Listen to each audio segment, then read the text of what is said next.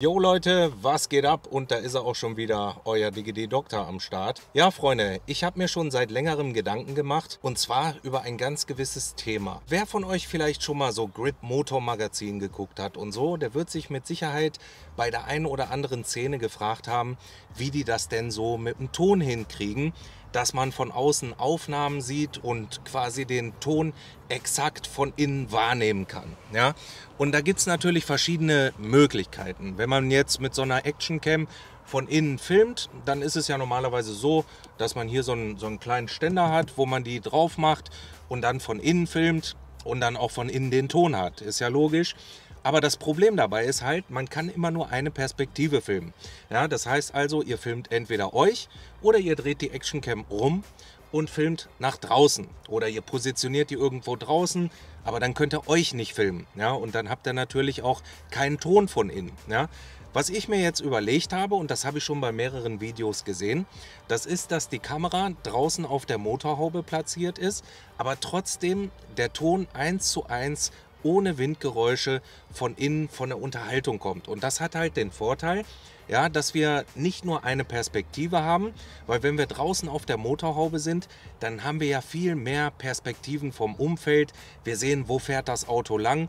Wir haben trotzdem einen Blick durch die Windschutzscheibe auf die dementsprechenden Personen und wir haben einen wunderbaren Ton von innen. Und wie das funktioniert, das werde ich euch in diesem Video mal zeigen und erklären. Ich würde sagen, nicht lang schnacken, Kopf den Nacken und los geht's. So, hier nochmal zum Vergleich. Das wäre jetzt die normale Perspektive einer Actioncam, die im Auto angebracht ist. Ziemlich langweilig, ja, man kann vielleicht ein bisschen durch die Fenster gucken. Das war es dann aber auch schon gewesen. Ja, und wenn wir das Ganze uns jetzt mal von draußen betrachten, dann sieht das nämlich schon ein bisschen anders aus. Jetzt bin ich draußen vor meinem Auto und ihr könnt euch schon denken, was ich vorhabe. Nämlich ich werde jetzt die Kamera genau hier auf der Motorhaube platzieren. Das Problem ist nur, wie bekomme ich den Ton nach innen? Und da gibt es einen kleinen Lifehack, den ich euch jetzt mal zeigen werde. Nämlich zum Beispiel ein Funkmikrofon. Wir werden das Ganze jetzt mal zusammen anbringen. Zusätzlich werde ich noch eine zweite Perspektive von innen filmen. Und was man dafür alles braucht, das erkläre ich euch in diesem Video. So, was brauchen wir jetzt, um diesen Lifehack quasi mal durchzuführen? Wir brauchen eine Osmo Action in so einem Gehäuse hier. Ja, kriegt man überall bei Amazon. Und dann brauchen wir zusätzlich noch eine Osmo Action hier mit dem Funkmikrofonadapter. Den seht ihr hier an der Seite und dieses Gestell. Zusätzlich natürlich wie immer ganz ratsam hier noch dieses doppelseitige Gelklebeband, was sich immer ja, durch seine guten Adhäsionseigenschaften auszeichnet und was auch relativ preisgünstig ist und wirklich auch rückstandslos später wieder entfernt werden kann. Das hier ist ähm, quasi das Mikrofon, ja, was wir später mit der Osmo Action verbinden werden. Ich habe jetzt hier eins von Rode, das ist das Wireless Go. Das ist sehr zu empfehlen. Ja, ich habe da eigentlich gute Erfahrungen mitgemacht und eine Reichweite teilweise rausgeholt von bis zu 500 Metern. So, das erste, was wir jetzt machen müssen, ich hoffe, ihr seht mich und da ist kein Schatten, ist hier unten das doppelseitige Klebeband dran zu kleben. Ich habe hier schon eine gute Lage drunter, aber ist egal, doppelt hält besser, ja. Darauf achten, dass das schön angepasst ist und dann ziehen wir hier dieses überschüssige Band ab.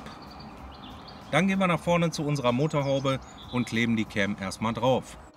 So, wichtig dabei ist natürlich ganz klar, die Kamera so zu positionieren, dass man auch später ein bisschen was vom Innenraum sieht. Also ich glaube, wir können hier schon noch ein bisschen höher gehen, so ungefähr in diese Richtung. Dann natürlich ganz wichtig, hier ein bisschen sauber machen, damit das Ganze auch gut klebt. So, und dann würde ich sagen, wir positionieren die schön mittig, so auf der Motorhaube. Das hält schon mal fantastisch. So, dann werde ich die mal ausrichten. Kurz anschalten hier. Und wir schauen mal, ja, wir haben Full HD, 60 Frames die Sekunde. Und ich gehe mal so ein bisschen hier in die Breite. Okay, Weitwinkel habe ich jetzt angestellt damit wir auch einen schönen weiten Winkel haben und auch ein bisschen was von der Umgebung sehen können. Ja, und jetzt gehen wir natürlich her und schalten hier oben unser Mikrofon an, stellen das Mikrofon auf ja, Medium. Also es gibt ja drei verschiedene Modi beim Rode Wireless Go. Und äh, Medium ist ganz gut, wenn man es nicht direkt hier wie ich jetzt am Kragen hat. So, die Kamera ist positioniert. Wir können das sehen, wunderbar.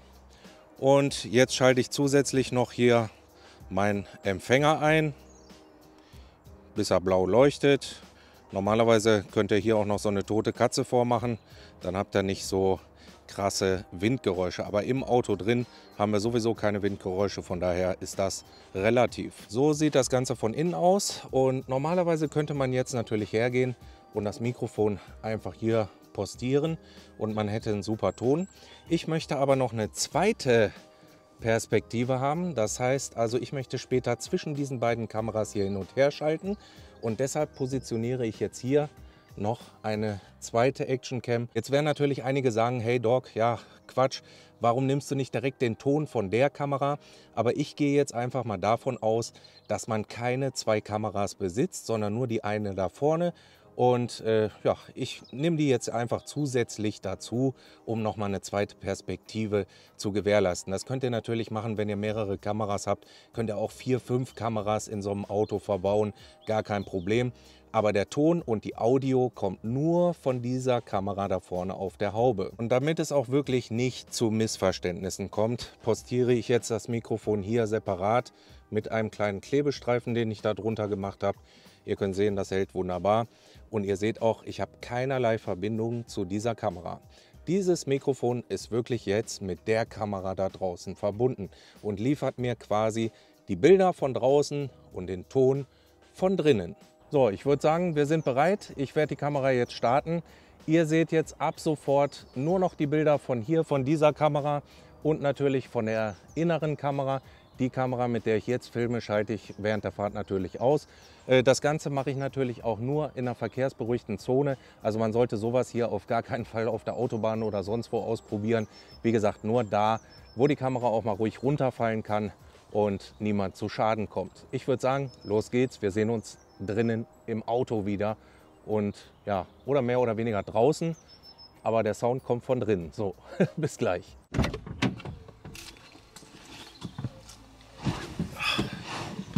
So, normalerweise solltet ihr mich jetzt schon zumindest hören können. Ähm, ich bin hier drin. Wahrscheinlich seht ihr jetzt gar nichts von mir, weil die Scheibe ein bisschen äh, ja, verfärbt ist. Ich schalte jetzt zusätzlich noch die andere Action Cam ein und wir fahren jetzt einfach mal los. Gleichzeitig werde ich euch natürlich zwischendurch noch die Bilder von hier drin einspielen und das immer so im Wechsel handhaben. Aber ich finde, das ist einfach eine mega coole Perspektive, weil man einfach auch noch ein bisschen was von der Umgebung sieht. Ne? So, ich fahre jetzt mal los. Das ist ganz schön ein komisches Gefühl, jetzt mit der Action Cam auf der Motorhaube hier rumzufahren. Aber äh, ja, das wird schon funktionieren. Leider haben wir hier ein bisschen viele Schlaglöcher. Die Straßen in Duisburg sind nicht die besten. Und ich hoffe, dass die Kamera da bleibt, wo sie tatsächlich sein soll. Wir fahren jetzt knappe 10 km/h. Es wäre natürlich wesentlich schöner, wenn jetzt hier keine Schlaglöcher wären. Aber ich denke mal, ihr könnt so ein bisschen was von der Umgebung und so wahrnehmen. Ich weiß nicht, ob ihr mich jetzt auch hier drin seht oder ob das zu verspiegelt ist. Auf jeden Fall solltet ihr mich sehr, sehr gut hören. So, jetzt kommt eine kleine Kurve und dann wird auch endlich die Straße ein bisschen besser, so dass wir hoffentlich auch ein bisschen mehr Drive reinbekommen. So, ich gebe jetzt mal ein bisschen Gas. Natürlich immer Safety First, Freunde. Ja, da ist eine Fußgängerin, die guckt jetzt auch schon ziemlich komisch. Die denkt, ich bin von Google Street View oder so. Wir machen jetzt auch hier mal eine kleine Kurve. Fahren hier mal so ein bisschen um die Ecke rum. So, hier ist der Belag natürlich viel, viel schöner und hier kann man auch gut fahren. Und wenn die Kamera jetzt runterfallen sollte, dann ist sie auf jeden Fall platt. Ja? Aber man hat einfach den Vorteil, man braucht jetzt kein zweites Auto, was vor einem rumfährt und dann Aufnahmen von diesem Auto hier macht. Ja, und es ist auch irgendwie ein cooles Gimmick, finde ich, oder ein cooler Hack. Ja, weil man einfach sofort den perfekten Ton von innen hat. Ja, man sieht quasi von außen alles, was ums Auto rum passiert und man hat von innen einen perfekten Ton, als würde man neben mir sitzen und man hat keinerlei Windgeräusche oder sonstiges. Ich denke, das ist wirklich ein richtig cooles Hack und ähm, ja, normalerweise fällt sowas auch nicht auf, wenn man jetzt so Filme konsumiert und nicht unbedingt darüber nachdenkt, wie so Filme produziert werden, dann ist das einfach Standard und manche von euch werden jetzt vielleicht sagen, ja Doc, das ist ja überhaupt nichts Neues oder ja, das ist ja jetzt für mich nichts Besonderes. Aber ich finde es einfach cool, weil man kann so natürlich auch richtig cool Vlogs filmen und da auch nochmal so ein ja, kleines i-Tüpfelchen reinbringen. Ja? Es ist einfach nochmal was ganz Besonderes, so ein Auto von außen zu sehen und trotzdem den perfekten Sound von innen wahrnehmen zu können. Ja, jetzt haben wir unsere kleine Runde hier gleich beendet. Und es ist doch auch viel schöner, als wenn ihr mich jetzt nur von innen sehen würdet. Ja, wenn ihr mich von innen sehen würdet, hättet ihr jetzt überhaupt nichts um euch rum gehabt oder gesehen, wo mein Auto lang fährt. Man könnte das Ganze natürlich noch steigern, dass man zusätzlich noch eine Drohne dabei nimmt, ja, und die vielleicht im Active Track das Auto verfolgen lässt und dann sogar drei, vier Perspektiven macht. Jetzt stellt natürlich mein Handy, ist klar.